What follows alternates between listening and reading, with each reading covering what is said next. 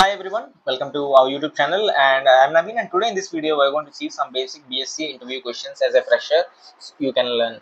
So coming to the first question, what is an aliquot and diluent? So aliquot is nothing but my dear friends, it is a small portion or a volume which is taken from a sample.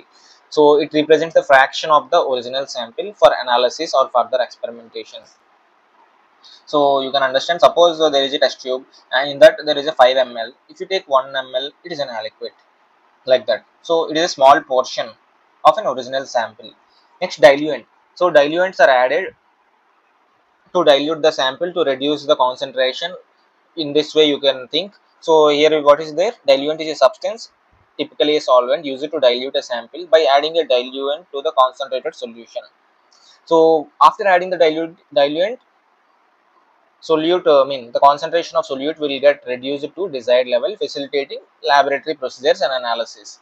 Later later days you will come to know about uh, why we are adding diluent. But now this time also some people may get to know. But for those who didn't get it you can ask in the comment section. I will try to explain more. And what is molality? So molality is denoted by small m here you can see. So it is the measure of solute concentration in a solution so molality means solute concentration in solution. It is also defined as number of moles of solute in one kilogram of solvent. So what is the amount of solute in the one kilogram of solvent? This is molality. So you can calculate molality by moles of equal by formula using the following formula, which is the moles of solute by kilograms of solvent. So what is titration? So what is titration? I think in laboratory you have I mean, lab experiments you may have performed titration. So titration is done until endpoint is reached. So it is an analytical technique, quantitative analytical technique to determine the concentration of unknown acid or base in a base solution. So titration process involve gradually adding a known concentration of solution titrant to the unknown solution until it reaches its endpoint. So uh, how do you find the endpoint? Through a color change using an indicator. The point at which stoichiometrically equal amount of reactants have mixed is known as equivalence point. So next is question is what is a buffer? A buffer is a solution that resists change in pH when small amount of an acid or bases are added. So by this time you can understand what is buffer and I think you all have studied during your studies also. As a fresher you should all know these basic questions and you, sh you should be able to answer these so that you will be easy for it will be easy for you to get a job so a buffer is a solution which resists change in pH when small amount of an acid or base added. It typically consists of weak acid or its conjugate base or a weak base and its conjugate acid.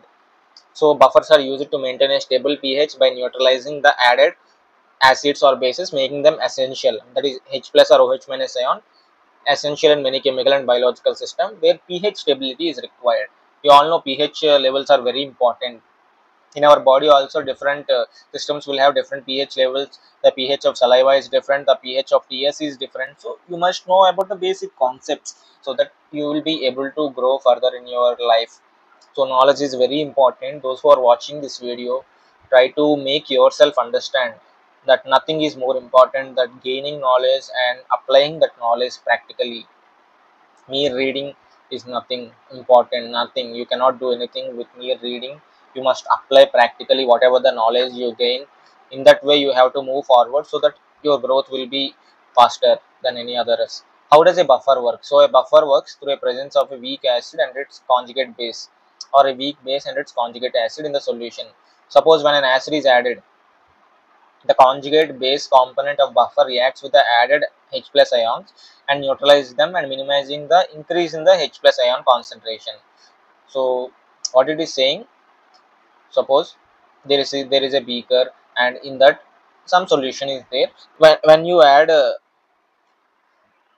so how can you understand? When an acid is added to that solution so the conjugate base component of buffer neutralizes the H plus concentration. So here you can see when an acid is added to the solution, it neutralizes and thereby stabilizes it by stopping increasing the H plus concentration. Next question is when a base is added.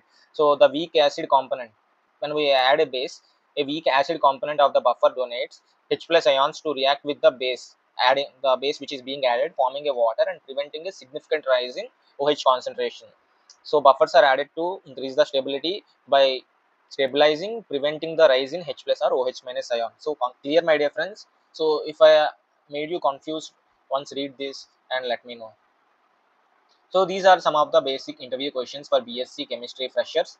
So if you like this video, please like and share, subscribe. And there are some other YouTube channels for us also. Let's learn pharma. You can also visit, and there are a lot of uh, information is there in it. That is my first channel, and this is my second channel. And thank you all for watching.